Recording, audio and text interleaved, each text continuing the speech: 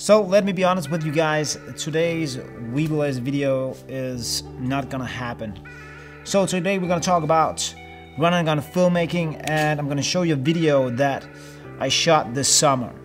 And I used a GH5 and my glide cam and a drone to pull this off. It's an event called Cracey. It's beach toy world championships and it's 500 people running around with beach toys uh, going to 30 obstacles. They only have one hour, so I have one hour to shoot this event and I can't reach all 30 posts. That is not possible. Uh, so I map out before I start which ones I'm gonna go to and what tools I'm gonna use, the GH5 or the drone.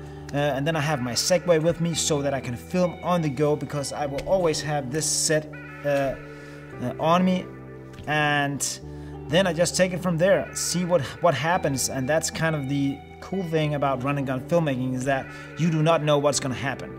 So let me show you the video and tell me in the comments if you want to see more about how I use my GH5, uh, my glide cam and my S1H to create videos on the go.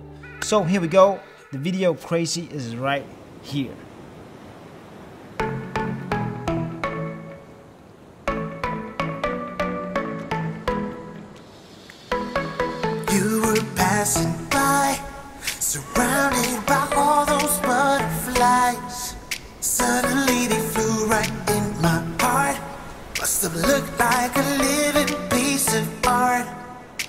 From the moment I knew, I knew that it would be you. Yeah, from that moment I knew, I knew it could only be you.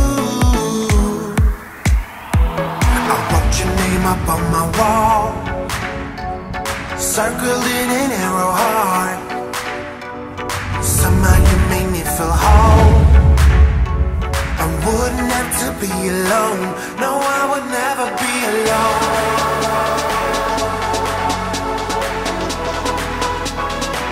No, I would never be alone.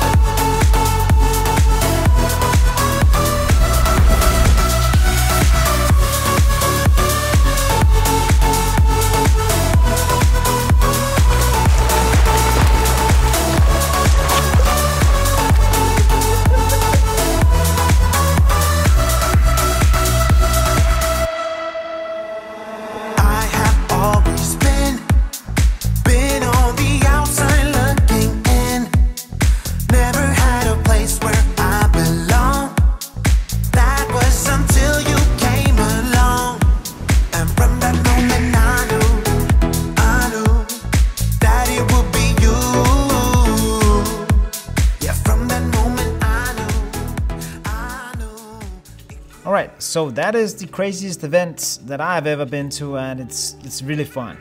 But I use these tools to create this video, and of course, if I made this video today, there's things that I would have changed, and that's the cool thing about filmmaking that you always pro- always progress and you learn new stuff and you get new gear and you're always in this changing mode.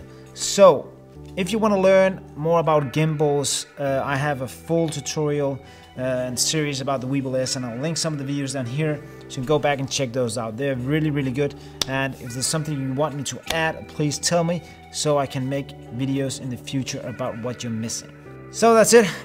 Uh, if you're new here, of course, remember to subscribe and hit the little bell so you get notified when I upload a new video, and I do that every Sunday. So, until next time, stay creative and go out and make some dope videos. See ya. Cause we both.